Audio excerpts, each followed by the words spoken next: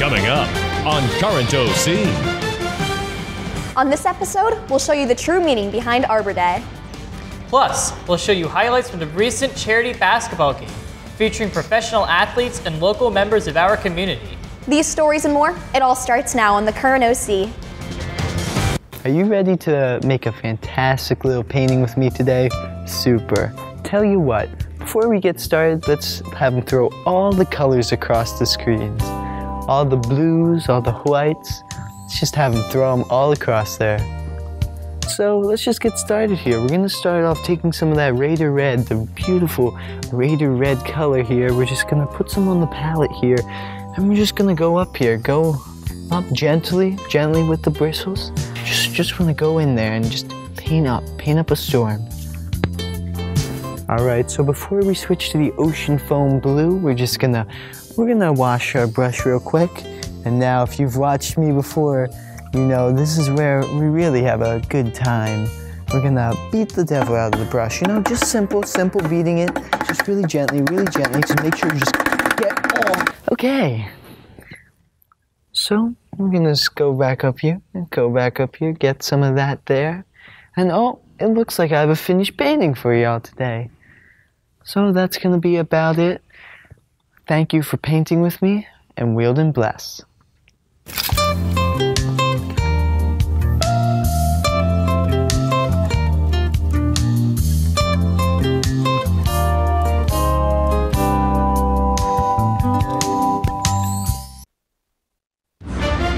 the OC TV studios along 6th and Atlantic. Raider Nation's leading news magazine starts now in high definition. This is Current OC.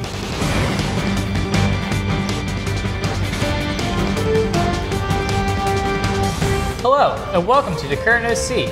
I am Luke Leonetti. And I'm Jenna Wilkinson. Hard to believe it, but we're already in the month of May. The school year is flying to an end, and the Current OC is here to get you from now till summer vacation. Thanks for tuning in this week. We apologize for not being around in the past few weeks, but we were on hiatus due to state testing and spring break. But now we're back and ready to bring you the latest OCHS news. This week, our student artists got to display their masterpieces in the library for their peers to see. In honor of the annual Student Art Show, Anna McCabe is here to tell us how we can all channel our inner artists. The life of a high school artist sometimes can be difficult. Between trying to find your own style, struggling to afford expensive supplies, and being satisfied with your work. Using these tips will help you become more confident on showing your work to the world. First things first, stop comparing your abilities to other artists. Art is about supporting and growing artistically as an individual. All art is unique, so what's the point in comparing? Another challenge a lot of artists experience is expenses. Research is definitely important when looking to buy new equipment. Search around a little before pressing checkout. In order to get the most out of your equipment, don't order the first thing you see. Or, if you have your heart set on something, look up reviews online or ask a friend that has used the product before. And make sure you take care of your equipment, they have feelings too. Something that is definitely difficult for new artists is having the confidence to present their work. I recommend getting out of your comfort zone with your art so you can grow familiarized with your work. If you feel most comfortable with black and white, try painting with color. Or if you're a photographer like me, keep a lookout for the newest photo shoot location. The most important thing to remember is having the latest and most expensive equipment doesn't automatically create good artists. You can still produce high quality media with older supplies. Taking these tips into consideration, you'll definitely see a difference in your work. This has been Anna McCabe reporting for the Current OC. Good luck! Art is a reflection of beauty, and another source of great beauty comes from nature, primarily trees. Recently, America celebrated Arbor Day, an event that reminds us of the importance of preserving one of our most precious gifts, trees. Nate Gowdy has more. When we think about the month of April, There are a few holidays that we have in mind April Fools, Easter, Palm Sunday, Passover. But what about Arbor Day? It isn't often that we talk about Arbor Day being celebrated across the country, but why do we frequently forget about this fundamental holiday? The holiday originated in 1854 when J. Sterling Morton moved from Detroit, Michigan to Nebraska with his wife Caroline to settle and begin planting trees, shrubs, and flowers all around their dream home. Soon after, he became the editor of the Nebraska City newspaper and wrote bountiful information about wildlife and agricultural reservation into his articles. His passions for nature were reflected in his work, inspiring volunteers to plant trees in their own communities. After becoming a common name in the area, Morton became the Secretary of Nebraskan Territory, which enabled him to stress the importance of trees and botanical growth. With this title, Morton proposed a national holiday, Arbor Day. People gathered internationally to celebrate on April 10, 1872.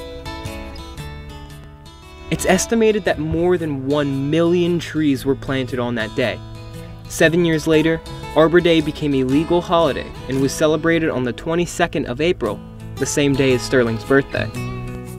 What does this holiday mean today? People all across the world gather on the last Friday in April to continue the tradition of planting trees and acknowledging the importance of their role in the environment. So, whether it's going out and celebrating yourself, or helping inform others, be sure to go out into your community for this important holiday. Happy Arbor Day. This has been Nathan Gowdy reporting for the Current OC.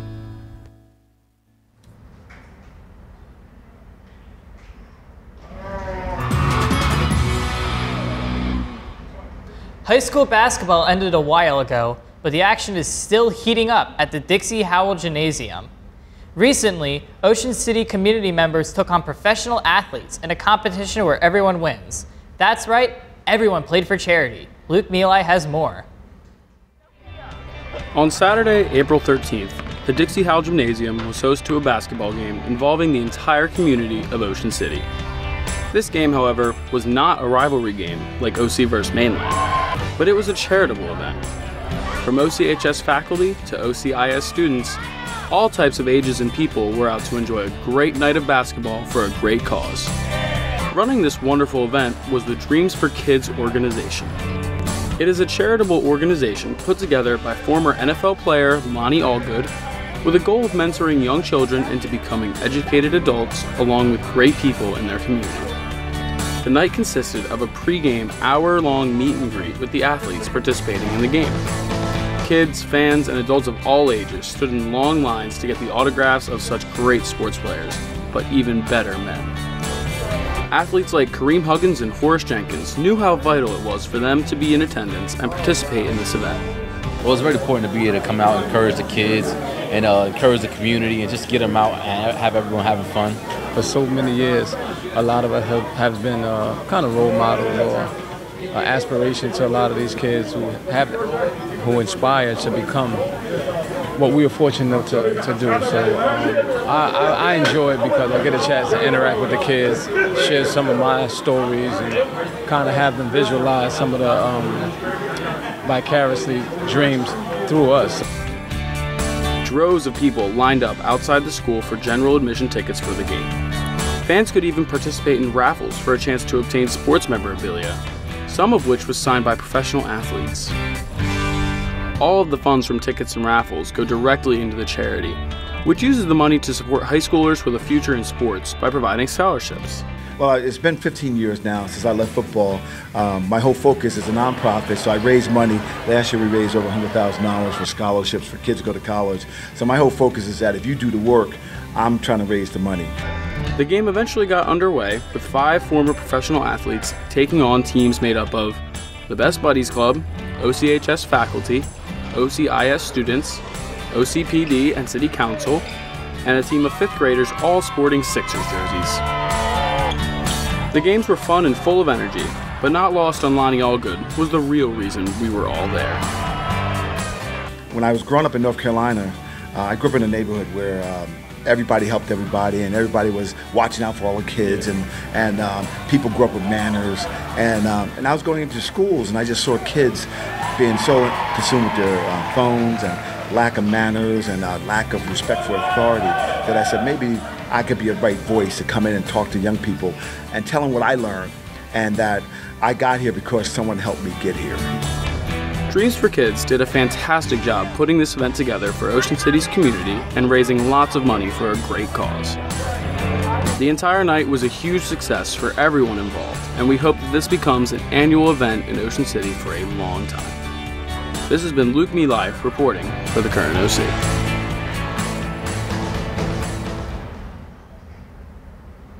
Spring break has sadly come and gone.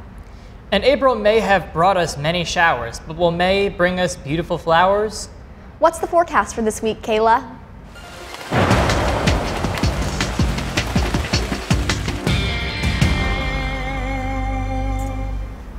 Hello, ladies and gentlemen. Long time no see. It's really nice to be back in the studio after our awesome spring break. If we take a look at our radar today, you'll see that we have no precipitation in our general area, some up north.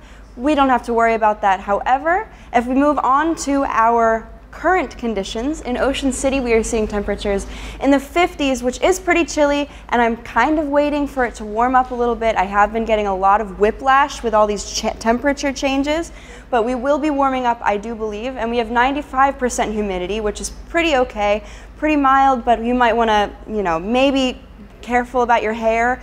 If we look into our temperatures all over New Jersey. We are seeing temperatures basically in the 60s throughout the state. For some reason, Wildwood is at 78 degrees, but I think that we would all disagree with that.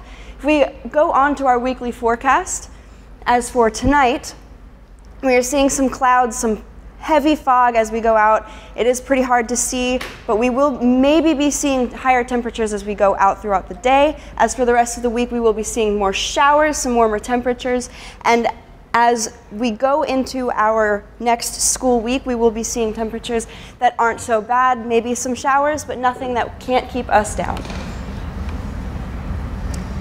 Before we leave today, we remind everyone to get out and see your fellow classmates' artistic prowess. Why not attend the last few days of the OCHS Student Art Show? The exhibit is currently being held in our own library until the end of the school day, May 3rd. And while you're at it, come see the choir concert tomorrow night at 7 p.m. in the OCHS auditorium. Well, that'll do it for us on this edition of the Current OC.